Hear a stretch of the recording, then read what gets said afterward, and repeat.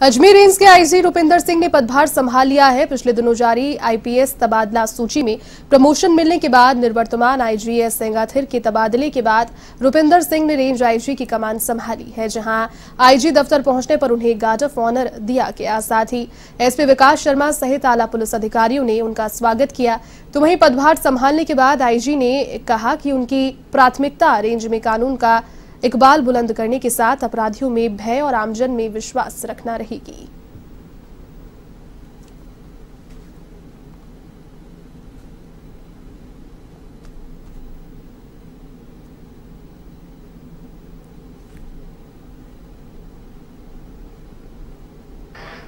प्राथमिकता तो राजस्थान पुलिस की है एंड उनको बखूबी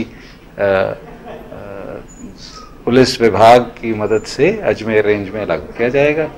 और सबसे पहला जो निर्देश है वो है कोविड अप्रोप्रिएट बिहेवियर तो उसके लिए जो है सबसे ज़्यादा मेहनत की ज़रूरत है ताकि जितना भी सरकारी कामकाज हो वो कोविड अप्रोप्रिएट बिहेवियर के साथ हो कोविड गाइडलाइंस की पालना करते हुए। सर किसी तरह की क्राइम की मीटिंग भी ली जाएगी हाँ सारा कुछ उसी का पार्ट है जो पुलिस वर्किंग है प्रक्रिया है सबसे स्टाफ से introduction feedback and then meetings and